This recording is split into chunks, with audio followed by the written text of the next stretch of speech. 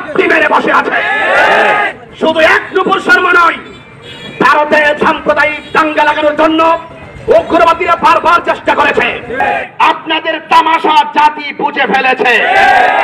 মুসলমান আপনাদেরকে ক্ষমা করবে না।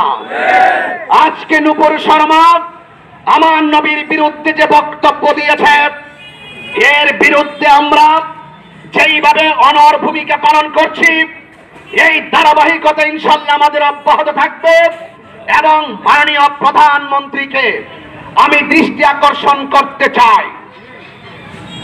আমাদের রসুল শুধুমাত্র কোন ব্যক্তি বিশেষের জন্য রসুল নয়। আমার ইল্লা রহমাতাল্লিল আলামিন।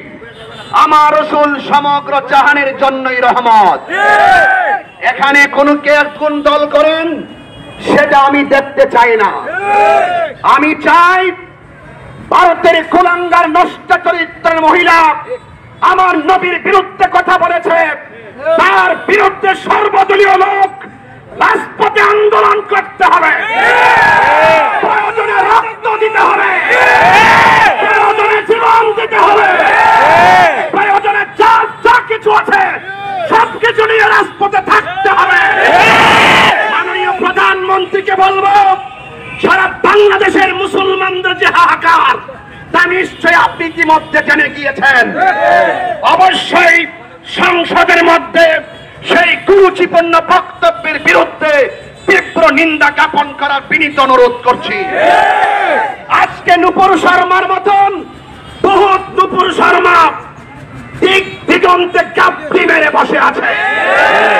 শুধু এক নুপুর শর্মা নয়, ভারতে সাম্প্রদায়িক দাঙ্গা লাগানোর জন্য উগ্রবাদীরা বারবার চেষ্টা করেছে।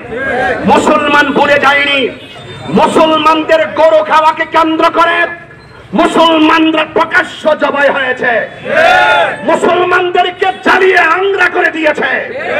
এই জন্য বিজেপি প্রধান তার ক্ষমতার যে অদূরদর্শিতা আছে, আমরা তা লক্ষ্য করেছি। এই জন্য সর্বমহল থেকে প্রতিবাদের জোয়ার তুলতে হবে।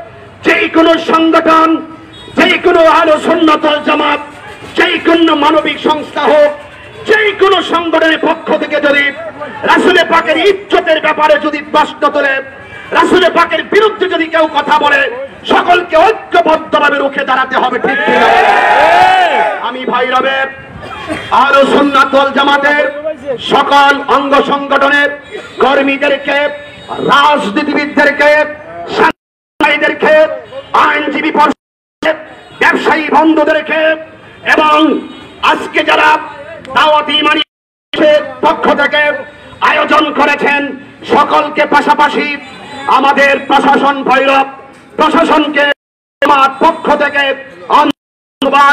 জানিয়ে আজকে এখানে মানববন্ধন ইতির দিকে যাচ্ছি।